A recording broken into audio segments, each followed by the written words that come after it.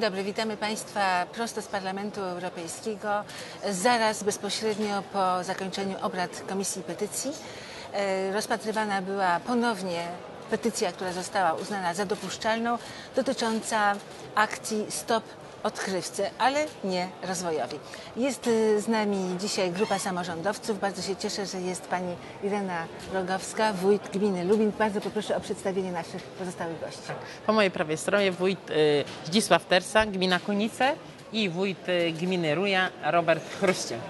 Są Państwo już po raz kolejny w Parlamencie Europejskim, znacie już nieco procedury.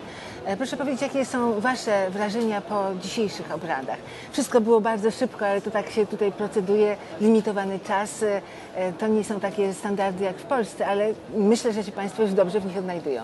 Tak, ponieważ byliśmy dzisiaj już drugi raz, to ta presja czasu mniej już na nas działała i, rzeczywiście spokojniej mogliśmy się wypowiedzieć. Niemniej jednak e, przedstawiliśmy stan faktyczny, jaki jest od e, styczniowego posiedzenia do dzisiejszego, co w Polsce e, w tym kierunku się wydarzyło. Co się zmieniło? Proszę powiedzieć. I generalnie sytuacja nie polepszyła się, a wręcz pogorszyła się, bo zapisy idą w kierunku tym, żeby ochronę złoża wprowadzić, a co ona oznacza dla gmin, tutaj się też na pewno wójtowie wypowiedzą, e, bo to jest właśnie największe zagrożenie e, dla nas, jeżeli by taka ochrona została wprowadzona.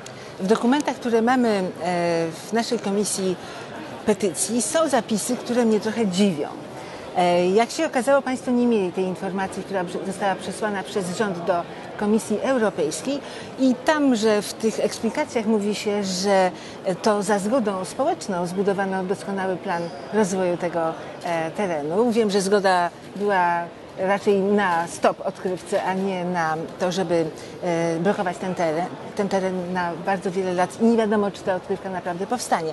Ale ta schizofrenia również polega na tym, chciałabym znać Państwa zdanie na ten temat, że mówi się wyraźnie, że gminy same będą decydowały o swoim rozwoju, o kierunkach rozwoju, a z drugiej strony nakłada się jednak ten obowiązek, że ten teren będzie chroniony jako przyszłe, zboż, z, z, przyszłe miejsce do wydobywania węgla brunatnego.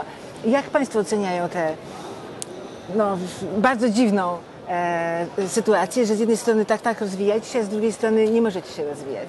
Tak, przede wszystkim nas bardzo niepokoi to, że nadal nie jesteśmy partnerem, nie chce się z nami rozmawiać, a już tutaj nas zaskoczyło, że odpowiedzi z rządu tutaj w, jakiś sposób jednak docierają, natomiast my nie wiemy o nich nic. Yy, I to nam dzisiaj też yy, bardzo wiele dało.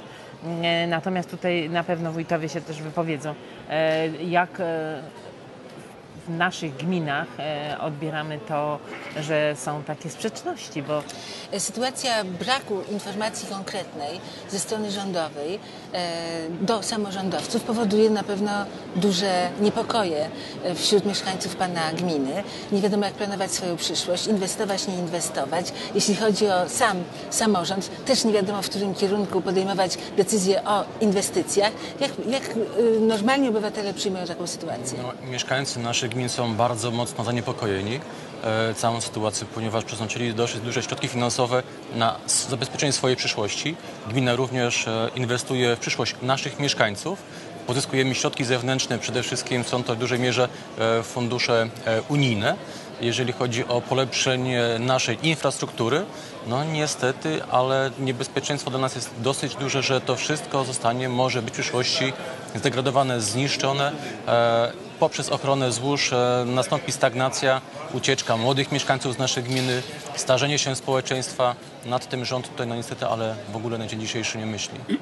To jest tym bardziej niepokojące, że powstał już Krajowy Plan Zagospodarowania Przestrzennego, w którym ta część regionu już jest chroniona. Jak odbierają to mieszkańcy Pana gminy, E, a przede wszystkim ten brak komunikacji, bo przecież mówi się o dialogu społecznym. Jak ten dialog społeczny jest odbierany z perspektywy mieszkańca Pana gminy? No właśnie zapisanie tego y, zabezpieczenia złoża w Krajowym Planie Zagospodarowania Przestrzennego zablo- zablokuje naszej gminie, Konice, przede wszystkim rozwój w kierunku budownictwa jednorodzinnego. To jest jedna z y, najbardziej prężnie rozwijających się gmin w tym kierunku. Jest to gmina, która bezpośrednio leży przy mieście Legnica, prawda? I wielu mieszkańców postanowiło z tą gminą związać swój przyszły, y, przyszły los, przyszłe życie. Wybrało sobie piękne działki, realizują inwestycje. A tutaj y, komunikacja między nami a mieszkańcami, tymi nowymi mieszkańcami jest utrudniona, bo ja nie, nie wiem wprost, jak odpowiadać na pytania tych mieszkańców. Czy będzie ta prawna ochrona, czy będzie ta kopalnia.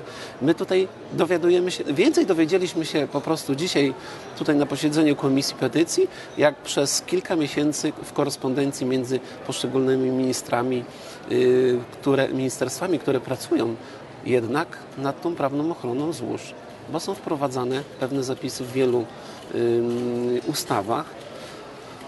I to jest właśnie niebezpieczne, to jest niedobre, tak nie powinno być. My powinniśmy być partnerem. Być, nie powinno być, ale ja mam tutaj taką analizę, w której jest napisane, e, że e, w zasadzie po konsultacjach społecznych e, osiągnięto taki wspaniały kompromis, który właśnie mówi, że w żaden sposób to nie będzie wpływało źle na mieszkańców, ten planowany rozwój, więc papiery mówią jedno, mieszkańcy mówią drugie, a my w Komisji Petycji zastanawiamy się, jak ten problem rozwiązać i tak naprawdę nie chodzi nam ani o awanturę, ani o wplecenie tematu do polskiej prezydencji. Chodzi nam po prostu o to, żeby rząd chciał ze swoimi obywatelami rozmawiać. I myślę, że możemy mieć nadzieję, że na następnym posiedzeniu Komisji Petycji będzie już taka szansa. Wydawałoby się to bardzo proste. Można zadzwonić tylko pod odpowiedni numer telefonu, żeby Państwo uzyskali informacje. No, te numery, które my mamy na razie nie działają. Dziękuję Państwu za wizytę, za uwagę. Bardzo proszę, Ja chciałam podziękować przede wszystkim właśnie Pani poseł za to, że mamy taką możliwość uczestniczenia tutaj, wspierania nas.